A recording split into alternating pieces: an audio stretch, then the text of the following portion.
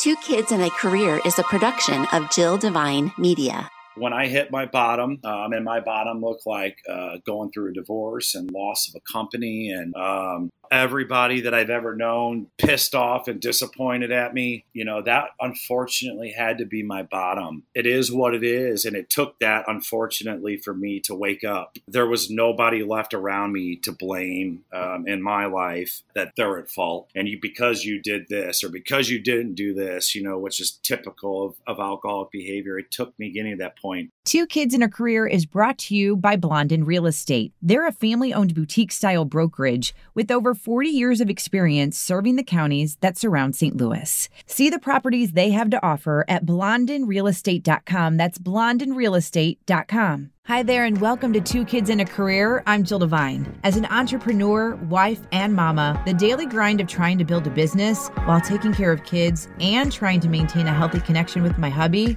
it's a lot. With this podcast, you're going to hear candid conversations with other moms, parenting experts who can share their knowledge and insight, or you'll just hear me rambling to get it all out. There's going to be tears, there's going to be laughter, but most importantly, there will be support. Take a listen and connect with me so we can grow and learn from one another. This is Two Kids and a Career. Welcome to episode 75. A couple of housekeeping notes at the beginning of the episode. I would like for you to take some time and head to wherever you're listening uh, this podcast right now and subscribe, rate, and review the podcast because that will help get this podcast in the hand of, of others. And then stick around until the very end because we have our Supermom shout out brought to you by Addie's Way. So I am super excited about this episode and a little nervous. And let me explain why. Um, so I have Sean Rademeyer joining me, and anyone that is listening that is from the area of the St. Louis area and they went to school with me, you probably know who Sean is. So, first, welcome, Sean, to the podcast. Hi, Jill. Thanks for having me on. All right. I will do a little bit of what I consider how we know each other, and you can chime in along the way. So, again, back to the local area, I went to Francis Howell High School. And for some reason, Francis Howell High School used to always hang out with the kids at St. Dominic, which was a, or still is actually, a Catholic school in the area as well. And so I met Sean through some mutual friends, um, probably the one mm, we probably really did know each other was Natalie. Natalie and I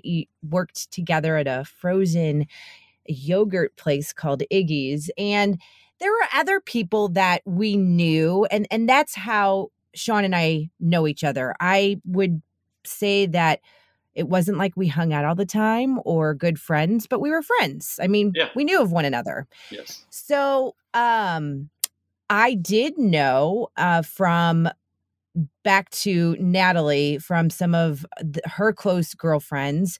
Sean was involved with one of those girls for a long time and they had a baby which we'll talk about but that was a baby what age were you? Um i was jill 19 or excuse me i was 20 and uh barb who you're referring to she uh she was 19 at the time.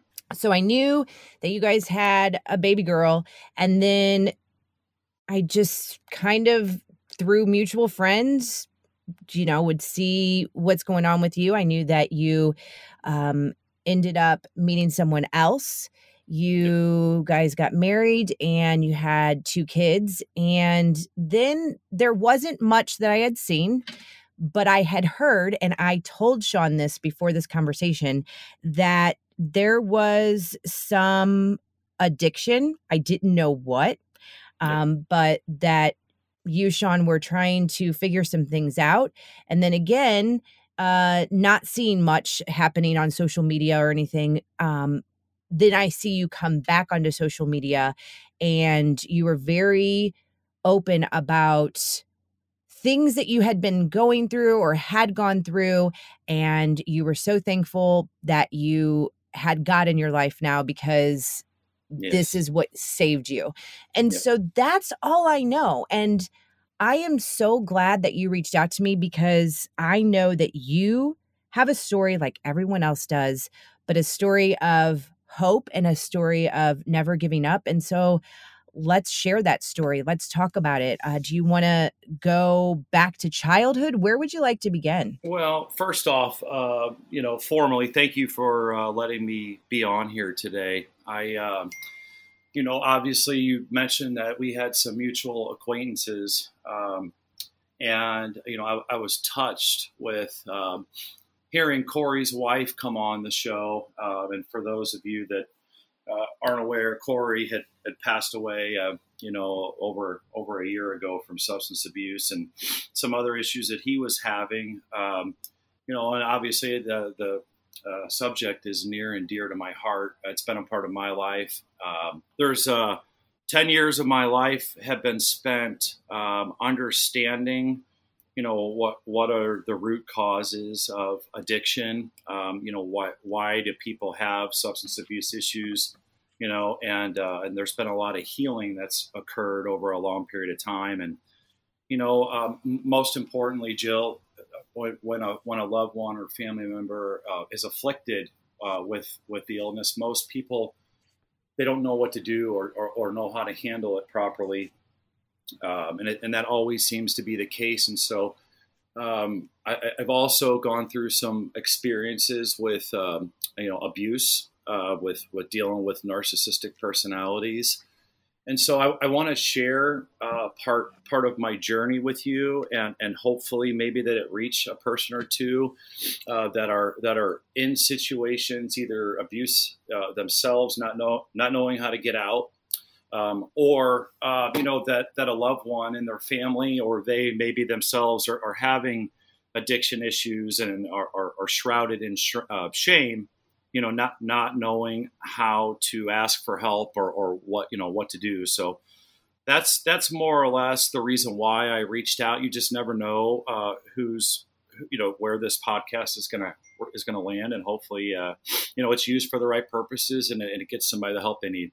Absolutely. I had said at the beginning of this episode that I was nervous, and I think it's nervous because not that it doesn't impact me when I'm talking to a complete stranger, but someone that I know and someone that I know, I mean, you're in my backyard, so to speak. Like, I know that I can call you up and we can meet. And so it is hard for, I think, loved ones uh, to hear the stories and to understand but that's where we have to start that's where yeah. we have to to get there and um it, it's just one of those things too where i think about how sometimes people will give up on others for whatever the reason is and, and i understand boundaries i 100% get it yep. but i also believe that there are people who can change and people who can grow.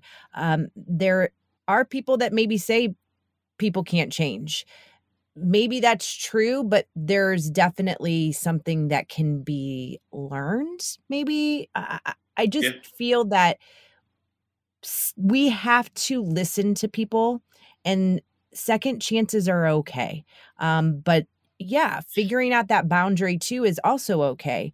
And so when someone's completely lost, we may not understand and we may not get it, but yeah. it's not up to us right now for that. So yeah. uh, let let's just dive into it. Sure, um, sure. talk I'm, about it. Yeah, I'm I'm happy to. So uh, you know that that's the the gist of my story. You know, I uh, I, I had I had the, the life, I guess, that uh, everyone could could want and be grateful for. Um, and you know, internally, um, inside of me, um, I was becoming an increasing mess, uh, not not truly understanding uh, what was happening um, inside of me or why I was having the feelings that I was having, um, or or certainly any healthy outlets uh, on, on on, or understanding how to deal with what was happening inside of me. And, and, you know, so is the case without, you know, alcoholism or substance abuse. Um,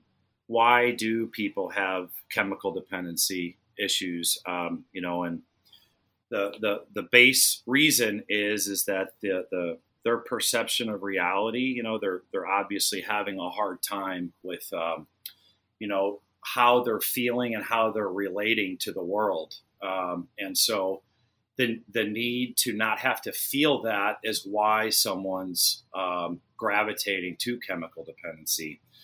And, and the, the reasons are different, Jill, for each person.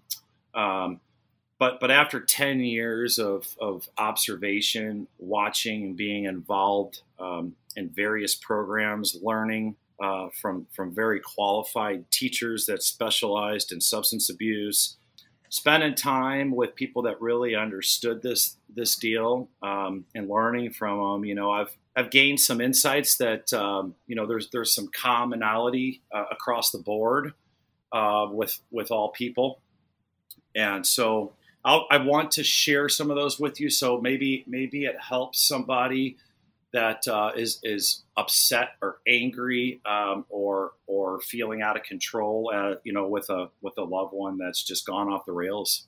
And so I'll start with my story. You know that I started and I kind of fast forward a little bit, but you know, high school, um, we, you and me shared a similar group of friends, um, you know, and that, and that's how we did know one another, you know, more on an acquaintance level than, than a deeper friendship level. Um, and, and life just moved on and you went your way and I went mine. You know, Heidi, uh, my daughter, is now uh, she just recently graduated college down at Mizzou and and uh, is heading Crazy. off. Yeah, I know. and she's she's heading down um, or, or, off already in, in, California, and I'm happy for her that. Um, you know, she she created the pathway in her life to to you know to follow her dreams and and uh, is living the way that she wants to and you know, I was I'm grateful that I got the opportunity to come out of that place that uh, most didn't think I would uh, and share some of of my life lessons with her. Um, you know, and I like to think that that had some influence on her. You know, uh, but I, I, think I think it planted seeds nonetheless inside of her, and so I'm, I'm delighted to see her life moving on with uh, high hopes, and she seems happy, which is all a parent can ever want. You know and, and then uh, yes, I did. I did get married uh, and, and went on and, and had uh, a couple kids. Um, you know that that uh, are named Max and Ava, and so um, at the same time, I was I was building a, a company that um, that grew rather quickly. You know, back around 2003, and, and I was actually really surprised at how fast it was growing. And and looking back at it now, hopefully it'll make some sense in the end. You know, it was uh, it, it, was a time bomb, a ticking time bomb waiting to happen in my life because, um, you know, I in high school, you know, st- started to drink on occasion and, uh, and, and even engage in other substances here and there. But uh, by college, began began as all people that usually have substance abuse problems that end up in recovery. You know, began blackouts um, and, and partying out of control. Um, and, and then uh, eventually, you know, uh, those years that we parted ways and, and, went off and started a family and, and started a business, um, you know, never really grew out of the habit, which which you know is usually a clear um, indicator of of who has the illness and who doesn't. You know, people are able to step away from that party life um, and, and that and that craziness, and and uh, I was still stuck in it, and uh, I I also can say today from the place I'm in that I, I, I needed that still in my life. Um, and, and I'll talk to you briefly about childhood stuff and alcoholic, uh, how alcoholism flows through families and um, how it gets passed down. Um, and, and, that's where I was at, Jill, a, a rapidly growing company, um, you know, that, um, that, uh, you know, in hindsight, again, uh, I had a lot of uh, a lot of ways to not have to feel in my life. Uh, workaholism was being one of them. Um, you know, it suppresses suppresses emotions and having to deal with the uh, uncomfortableness inside of you. Um, and so it was a perfect combination, you know, to hide behind um, what I was feeling on the inside, which it, which in my case, as, as as in the case of you know many other people with addiction and alcoholism is you know that um, inferiority complex that uh, I am that I am not enough wound inside of you, and, and as a recovering codependent, um, that that disposition to reach outside of yourself for things external uh, to make you feel better about yourself uh, because you're not able to generate those feelings of, of self worth inside of you.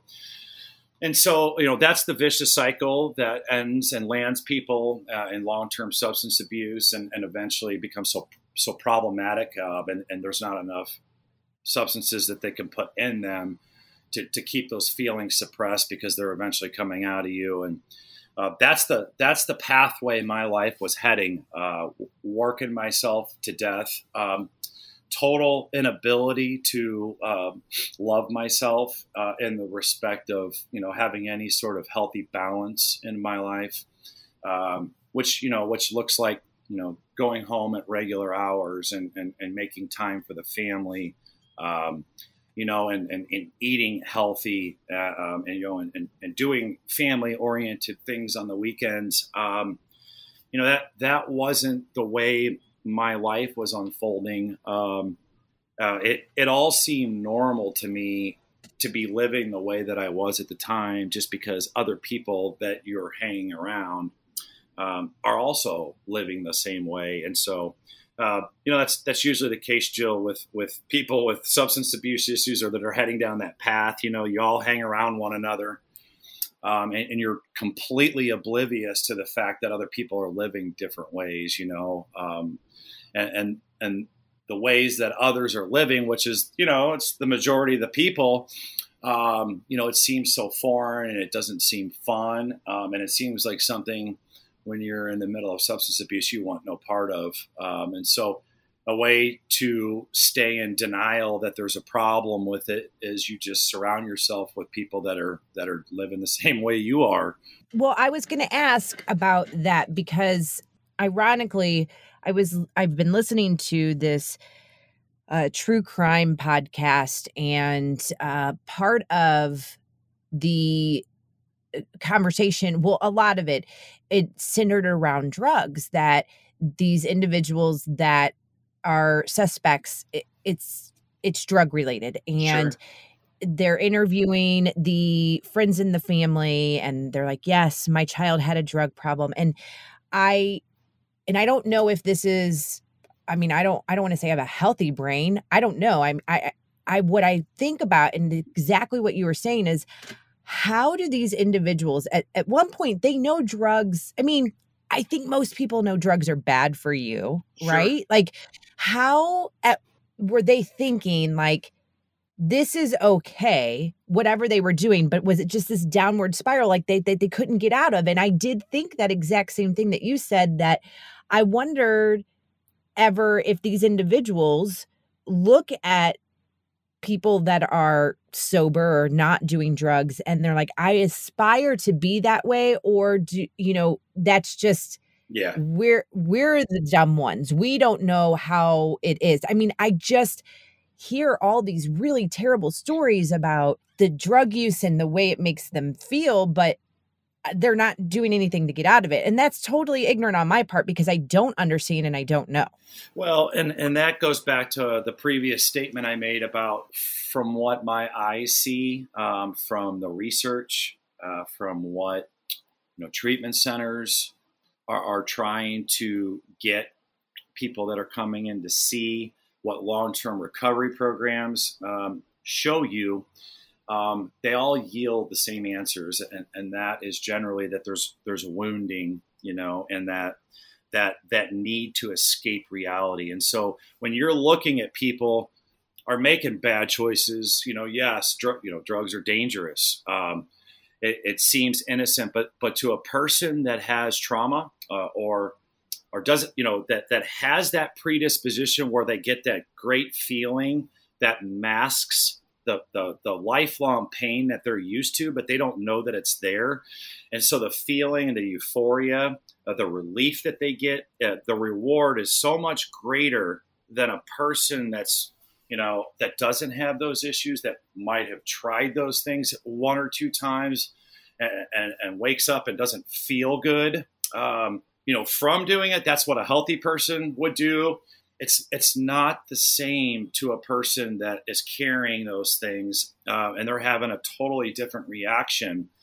And, and, and so when they get that relief from those those emotions uh, that they that they may not necessarily know if they haven't landed in, in any long term consequences of you know of substance abuse or landed themselves in a treatment center or done any introspection or, or work on themselves they don't know that they're wounded and they don't know that that that's the reason why they're they're they're so gravitating to that and why um, it's so powerful to them. Um, I hope that I hope that helps you understand a little bit a little bit better. It does because uh, some of the descriptions of some of these individuals in this podcast, the host does say he's like they had trauma yes. that happened to them and and explained a little bit about that and i mean i this is uh, just a side note like i just feel like it's this cycle because then those individuals have kids and then yes. you know what i'm saying? Like it just keeps going and so you just hope that somebody can break that cycle but um yeah so well that i just that's what i wanted to chime in. Yeah and and no and thank you for bringing that point up. I mean you know jill right now i'm working with some some larger organizations on you know developing programs for generational healing in families uh, because you know um, uh, most of the time,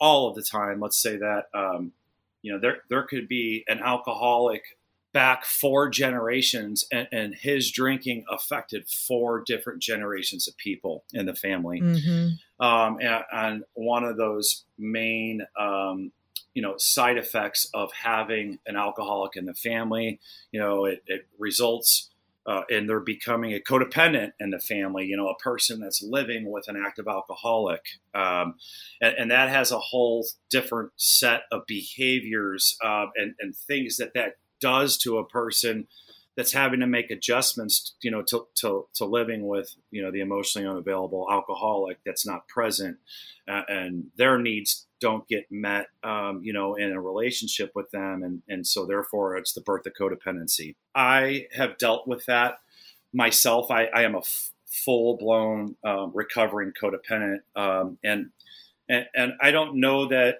um, it will help with, with extreme clarity here, but uh, in my case, Jill, it's not always the case. Um, but with, with alcoholism and addiction, you know, you can either have a personality disorder underneath of it, or or you can have codependency. And you know, in, in the programs of AA, you know, when people get sober, they they say, you know, all all alcoholics are are codependents underneath of the drinking. You know, and in my case, that was that was the root cause of of um, why I was having problems and in pain in life. You know, and I'll, and I'll I'll go into that just for a second here. You know, so.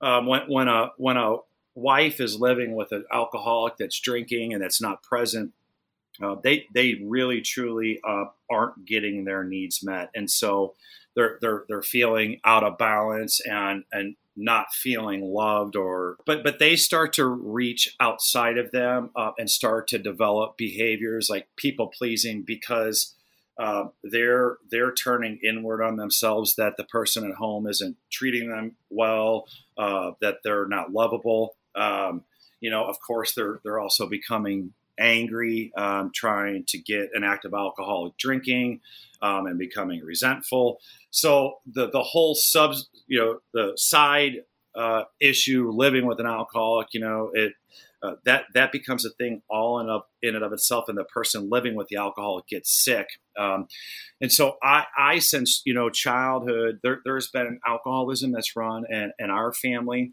you know, and, and that gets passed down, uh, you know, and, and so I've, I've, been involved with programs that are called uh, ACOA, Adult Children of Alcoholic Alcoholics, um, and that dysfunction gets passed down generationally, and it really predisposes you to compulsive caretaking for other people, uh, people pleasing, you know, where where you're not um, aligned with your true self, and that you're jumping in, you know, to get a pat on the back. Um, you, you're you're you're just a false self uh, that that's trying to just be nice to everybody so people like you and, and that you're just giving to everybody um, you know you know uh, to, to make yourself feel better about you.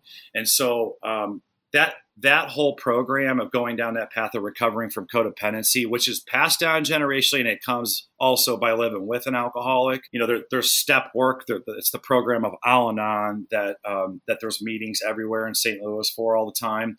Uh, it really helps the person stay well.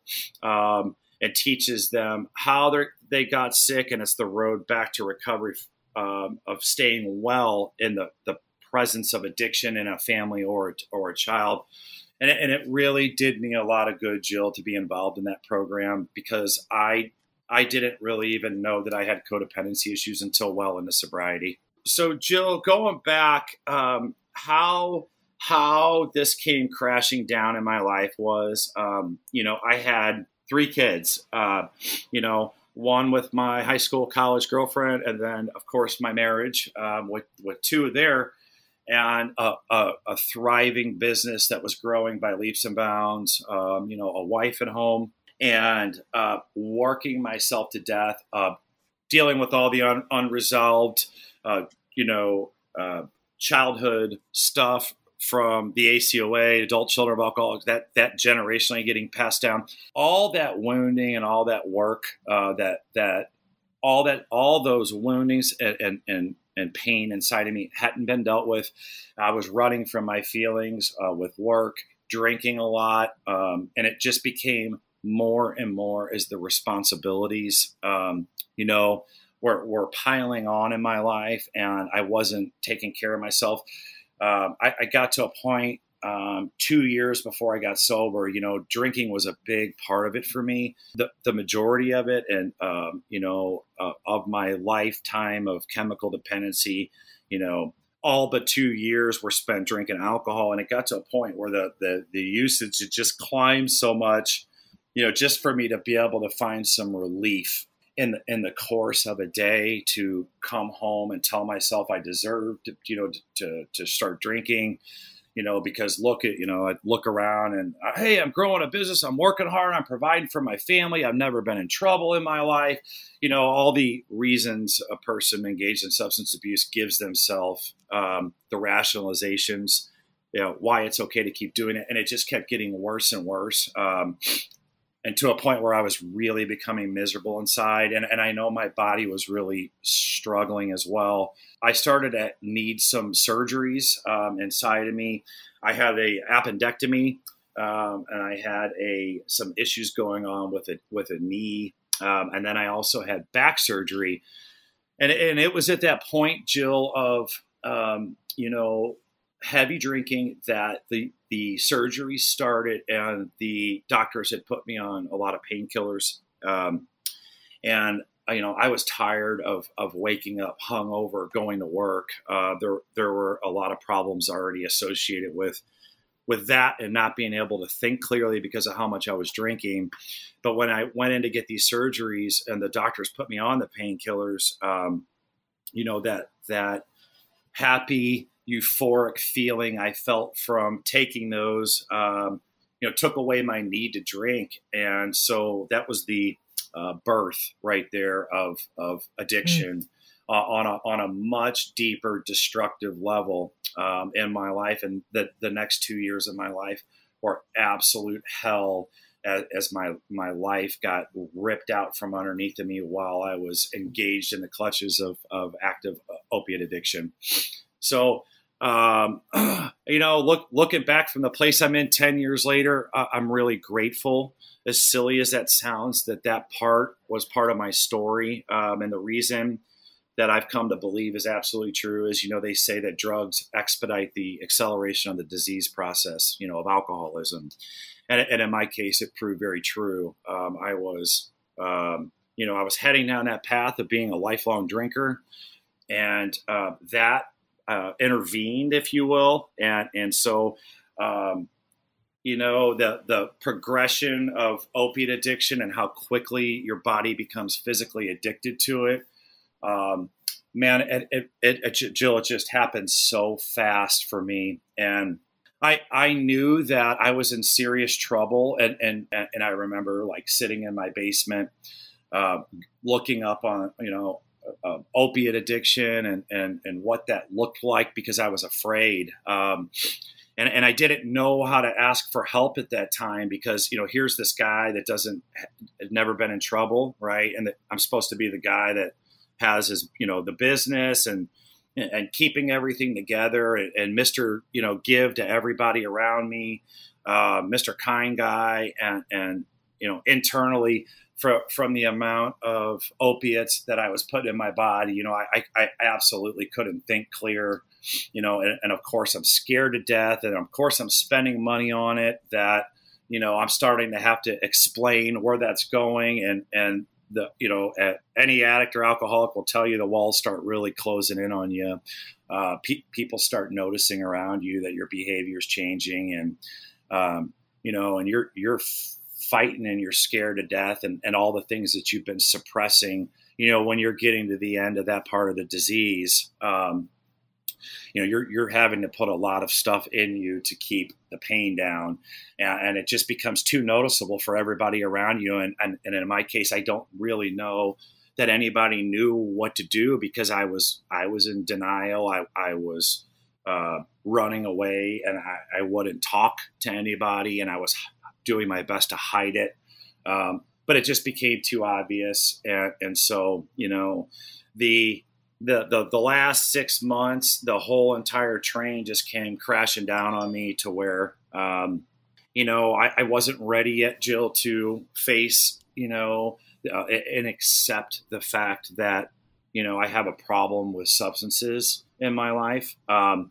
you know, I, I had this this wrong um, perception of what an alcoholic looks like or or an addict looks like you know, and, and at that time it was, you know, basically a, a disheveled person living underneath a bridge, you know, not, not a guy and, and, you know, um, that, that's got his act together, that's never been in trouble for. I, I'm not supposed to be an addict. And, and that, that lie and, and, you know, um, disillusionment, it, it, it, it, kept me running scared for a while and it kept me, um, got, you know, my, my addiction got to a point where, um, I, I, just couldn't lie anymore, and um, you know that that I was scared to death. Eh, eh, there were so many consequences of uh, being involved in all that happening in my life that that it just became too much, and um, I came I came home and, and admitted uh, to my wife at the time that you know I've got a problem and I need to get some help. And at that early first attempt at getting sober, um, I didn't know anything about recovery or what it truly looked like, um, and I was I was ashamed of myself horribly that that this had happened in my life, and truthfully wanted people off my back, and I wanted to to to you know regain their trust and and and I didn't. I unfortunately for me didn't take um, the gravity of the situation seriously at that time, um, and, and, and kind of went to a band aid quick fix and tried to walk back into my life really quickly. Um, you know, with with no tools, um, you know, no true desire uh, that I was going to get sober long term. Um, you know, only this short term thinking of, well, you know, I just, just, it was just a blip in the road. It'll all be okay. Uh, type uh, attitude that, that ultimately really bit me hard uh, because shortly after that, um, I, I ended up relapsing, of course, quietly and silently. And that was the means to the end to me, where I just lost everything and life came crashing down. Um, you know the, the, the doctors had put me on some medicine and I didn't really truly understand it yet. Um, you know, and were were telling me all these things, but Jill, I, I was still fighting the fact of acceptance that um, you know I'm I'm an alcoholic, and for me to say that out loud, it just it just didn't sound right. It didn't seem right, uh, and it, and unfortunately, it took me uh, ruining everything at, at, that time in my life that I cared about, you know, that I'd built, that I'd worked hard for. Um, but uh, that's where my journey began for me. That that's uh, yielded so many miracles and, and, so much healing in my life, um, and, and, a much healthier uh, and you know empowered, healed version of myself. That's that's here today. I've been on a on a ten year journey from that point um, of, of, true miracles happening to me. A lot with God in my life. Um, I didn't know that really truly that I was a, a real firm believer um, uh, before my sobriety journey actually started. Um, but I but I can you know with certainty sit here today and, and, and say to you that without without that being a part of my life, I never would have made it out of that place that I was in. And so yeah, and so um, you know when when life when I hit my bottom, um, and my bottom looked like uh, going through a divorce and loss of a company, and um, basically uh, everybody that I've ever known pissed off and disappointed at me. Um, you know that unfortunately had to be my bottom, and, and I don't know why to this day why some people have higher bottoms than the other, but that was mine. Um, and you know it is it is what it is. And it took that unfortunately for me to wake up that you know uh, there was nobody left around me to blame um, in my life that you know uh, that that they're they're at fault here. And you because you did this or because you didn't do this you know which is typical of, of alcoholic behavior it took me getting to that point but really, it was that point, Jill, where I was looking at myself one day in the mirror, um, and I didn't even. I truly, I was living in Sunriver Village, I believe, uh, or no, excuse me, uh, Country Club Apartments, and um, you know, looking at myself in the mirror at that point, um, I, I didn't know who I was looking at even anymore. I my reflection staring back at me was a person that that had um, violated every moral he ever had uh, and compromised every one of them that I just I just had become somebody I didn't know. And I didn't didn't there was no excuse there was no other answers other than you know you did this to yourself. And it was that day that I just buckled and I just said God if you're there help me. Um, you know I, I, couldn't stand what i'd done to my family what i'd done to myself and i that was the first day that it became real that that there was no one left to blame except me and, and i could see me for for who i'd become and what i had done and i did not like it and i knew that you know my best thinking in life landed me in that position you know every every attempt i made to con- to control the situation in my life none of it worked um, and, and then i knew that that there was going to have to be something bigger than me to get me out of that place that I was in. And, um, you know, I'd seen those commercials on, on TV with Jeff Perry before, um, you know, that, that God loves you. And mm-hmm. you know, it was, it was because, you know, right around that time that those just kept, they kept getting my attention. And, I, I, I said it that day that I was just like, God, you know, I am terribly sorry for what I did. And, and I think what happened that day was I surrendered, you know, I surrendered having a will. I surrendered trying to fix anything. Um, I, I completely surrendered as a person, not, not truly understanding, you know, how I, how all that had happened to me happened to me. Um, and it was really truly a miracle. You know, I'd had a spiritual awakening, if you will, that day, um, and, and, so you know, I had been to AA meetings previous to that.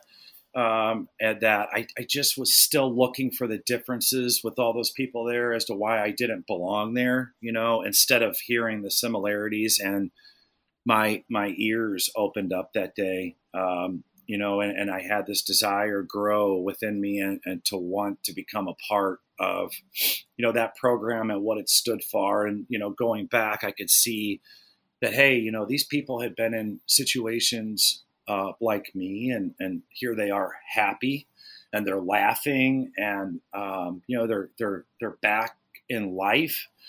And, and I could see that. And, and, and I truthfully, I, I wanted that for myself again. Um, and because my ears could hear now what they couldn't before, um, you know, I, I started to really listen in to the program um, and and and hear what it was having to say, and then um, became willing to to adopt that as a way of life, and it was paramount um, in my recovery, um, and, and, a big big part of it um, for for many many many years. Um, everything that everything that that program is is based basically on the Bible, spiritual principles um, taken from it, and um, you know it's it's it's a spiritual program that that helps reduce self, right? Um, and and and kind of uh, introduces spirituality as a way of life and, and gets you in touch with something bigger than you, which is the core problem of the alcoholic.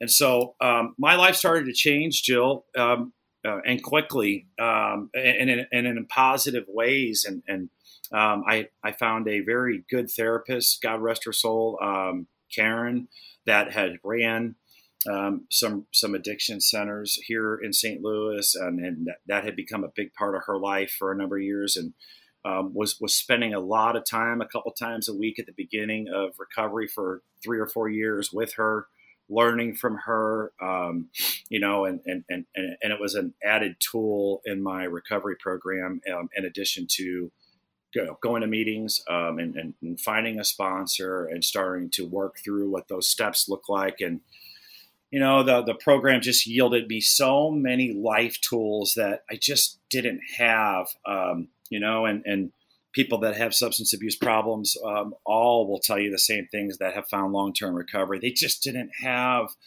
these the, the proper tools to cope with life um, you know and, and, and most of them are all stunted uh, emotionally um, from from really what age it is that they started drinking, you know. And in, and in my case, it was a 15 year old. And so when you get sober, um, and, and and after you've been in long term so- sobriety, you really truly recognize that, you know.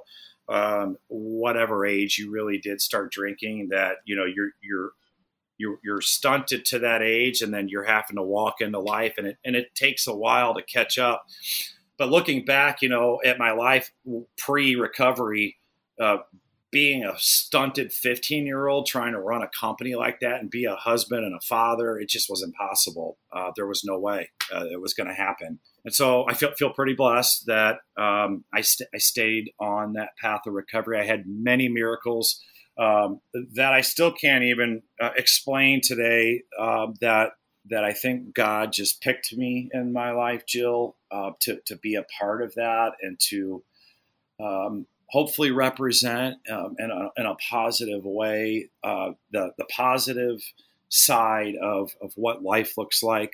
Um, you know, as a recovering person and, and what's possible. I know that you are going to send me all the the good stuff that you have in regard to help and that will be linked up in the show notes at jilldevine.com i just want to know what's next for you what do you want to happen not only with your life but I, and i i know that you want others to succeed and i know you want others to get help but this is also about you sean and i want to make sure that you're on the track to your happiness. Uh, yeah, thank you for uh, for for stating that. It's something I've become very aware of the last two years. You know, it's that lifelong need to try to help people, and uh, and, and, that's just not realistic because you know I've, I I spent a lot of my life doing that, and and the focus has has has has shifted back to me, Jill. Um, you know, I, I did enjoy being a business owner in my life, and right now uh, I'm taking the the the necessary steps. Um, came close a few times in my life. Um, was almost there. Um, and, and, made some uh, some poor choices around uh, discernment with, with some not so well people that uh, affected uh, the the progression of me owning a company again. Um, but I'm there again, and so that's happening in my life. Um, you know, and and most I think that I just want is peace, uh, peace a little bit of joy, a little bit of just healthy living, uh, healthy love in my life, and my, to see my kids happy.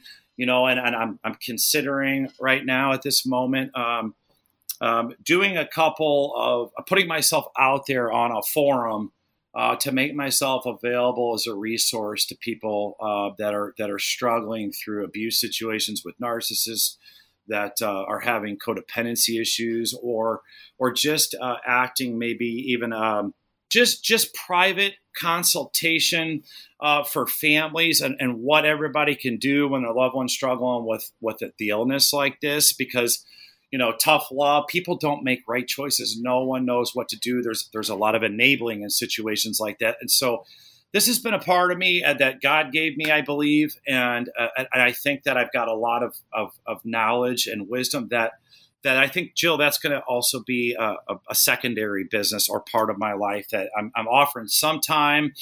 Uh, but I'm looking forward to it. Life is starting to rebuild finally after a, a 10 year journey of discovery and healing. And, and I think that I finally come home to who I really was underneath all that. Um, and, and I'm, I'm very optimistic about the future right now. Before we get to this week's Supermom shout out, I want to highlight one of the sponsors of the podcast, Blondin Real Estate. And as you have probably witnessed recently, the real estate market is crazy.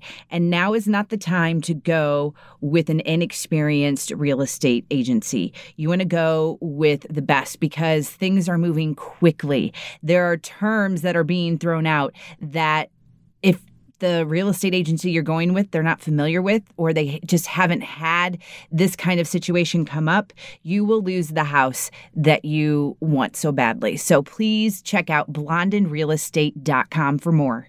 If you're ready, I'm ready. Let's get to this week's Supermom shout out brought to you by Addie's Way.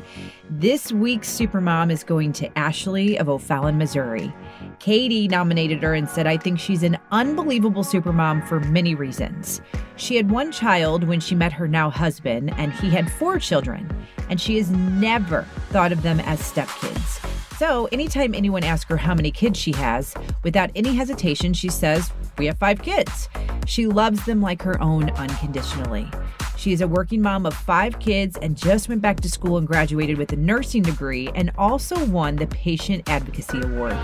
She is an amazing coworker, an even better friend, and I couldn't be more proud of her.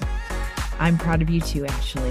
Ashley, you are seen and you are supported, and you're going to get that Supermom t shirt from Addie's Way. So get ready for that. And if you have a nomination, all you have to do is email me hello at jilldevine.com or you can go to the website jilldevine.com and I have a Supermom shout out page there where you can see all of the Supermoms that have been represented on this podcast. And that's also where there's a nomination form on there. So just get me all that information. If you're going to do it via email, I just need the name of the supermom, your name, because I need to know who's nominating her. Also, the reason why and where she's from. And then she'll get that shout out in an upcoming episode. And before we go, my friendly reminder to subscribe, rate, and review this podcast if you get a second or two. And I won't be mad if you tell a few friends about it as well. I appreciate all the support and help in getting the word out about this podcast. So thank you. And thank you for supporting and listening to Two Kids and a Career.